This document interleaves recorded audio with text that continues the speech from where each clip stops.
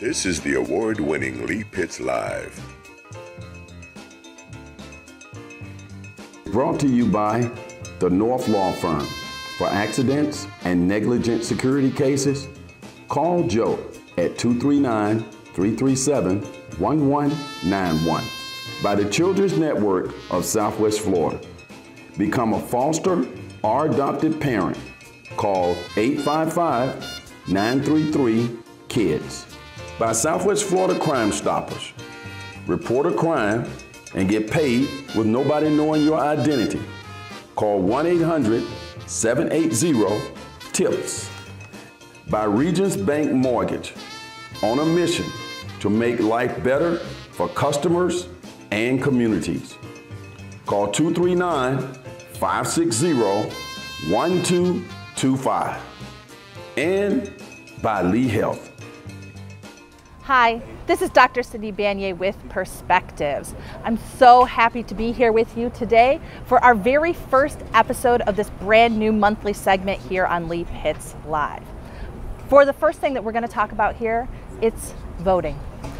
Right now in the US House of Representatives, they just passed the For the People Act, which is designed to preserve our rights to vote. It's so extremely important we know how many people across the United States have fought and died for the right to the ballot. And we have seen over the past years rollbacks in those rights, a new Jim Crow era, especially across the southern part of the United States. This is especially true after the Supreme Court knocked down parts of the Voting Rights Act that allowed states who had enacted Jim Crow era laws in the past to prevent people from voting to be able to do the exact same thing again. These pre-clear recommendations meant that states had to have any legislation affecting the vote be approved by federal officials. As soon as that provision was knocked down by the Supreme Court, we saw over 253 different pieces of legislation across 43 states uh, in the United States that sought to put provisions on our voting rights, including here in the state of Florida under SB 80.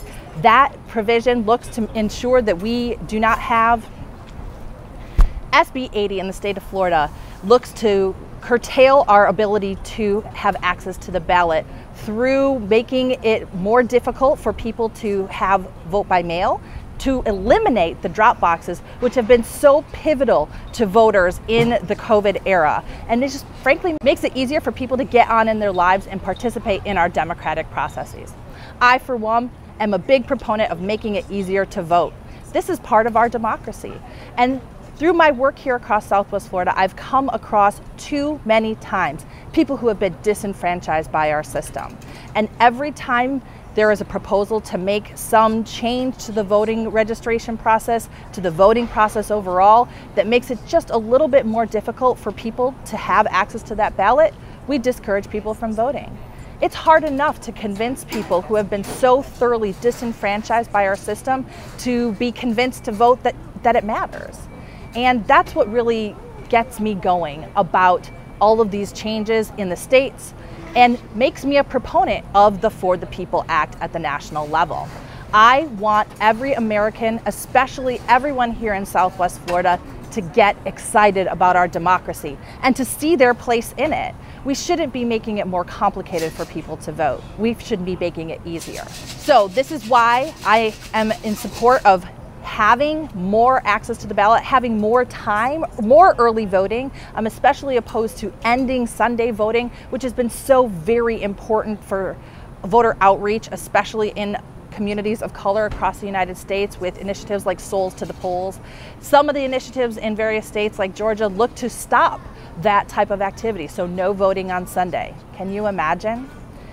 I want to see more ability to access the vote and Another thing that I heard from people across Southwest Florida is they want to have trust in their politicians. And they also want their politicians to follow the rules. They don't want to have people who are bought and sold. That's another thing that H.R. 1, the For the People Act, takes care of.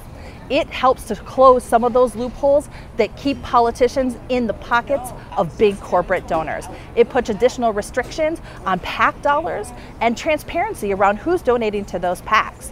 You ever seen those ads on TV during the campaign cycle that are usually pretty nefarious and then it says paid for by such and such PAC and it's not the candidate? That's the stuff that I'm talking about. That is what the For the People Act is going to help take care of. So you will know who those such and such PACs are that are pulling millions of dollars in to sway your vote one way or another so that they can get their candidate of preference up to Congress to vote the way that they want, not the way that somebody who is working for the people wants. And that's what this is all about. Additional things in the For the People Act that will ensure that we have better access to the vote is things like automatic voter registration and streamlining of those processes and the ability to make sure that these states who are enacting these, these laws against voter access have a federal law that they have to comply with. Other important provisions in the For the People Act include automatic voter registration, online registration, and unanimous felons' rights restoration. We know that that is important to the people in the state of Florida, as we saw by the referendum and the state amendment that allowed returning citizens the right to vote. Now, we unfortunately had a state legislature that looked to essentially curtail that through allowing for the implementation of fees that outsizedly affected people of color and low income people who are returning citizens because they oftentimes did not have the capacity to navigate the system nor pay the fees once they even found out, if they were able to find out, the, the amount of fees that they owed, they didn't have the capacity to pay them. And that is not appropriate. When people have paid their time, they should be able to come back and participate in our democratic processes. It shouldn't be just up to the wealthy folks who can navigate the system. Additionally, we have heard a lot in this past election cycle about election fraud. I'm here to tell you that anybody who uses that as an excuse to knock down initiatives to improve access to the vote, such as uh, the For the People Act and HR 1, they are simply wrong. So in addition to ensuring that returning citizens have the access to the ballot, we want to hold our politicians accountable. And that's another thing that is in the For the People Act that I want you to know about. It ensures that presidents have to release their tax returns so we know if they are engaging in fraudulent activity and have massive connections with foreign donors. In fact, that's another loophole that's closed through the For the People Act. It actually closes a loophole on the capacity for foreign donors to donate to super PACs and it increases transparency around that.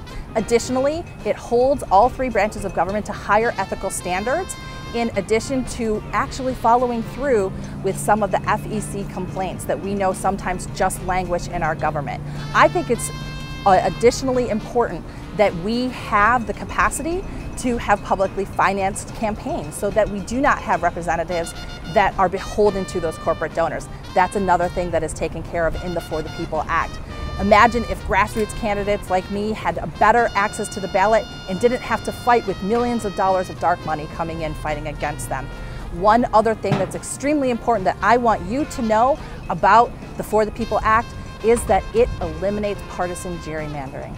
That's something that I think everybody on both sides of the aisle can agree to. If we just had fairly drawn districts instead of a lot of Republicans doing this and Democrats doing that, we would have a lot more confidence in our public officials up and down the board. So that's it for me today. I just wanted to express to you what I think is important out of the For the People Act. I'm looking forward to it being passed through the Senate and signed into law by President Joe Biden because I think our democracy is worth fighting for. Thanks for joining me here today. Stick around for more Lee Pitts Live.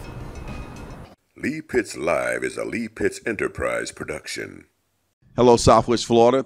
Thanks for watching Lee Pitts Live. Of course, I'm Lee Pitts. I hope you enjoy that particular show, but you can always catch us here on YouTube. Just click on the subscribe button down there. That way you can get your Lee Pitts Live on demand when you want it and how you want it. We also encourage you to watch our show on Fox 4 and connect with us on all all our social media platforms.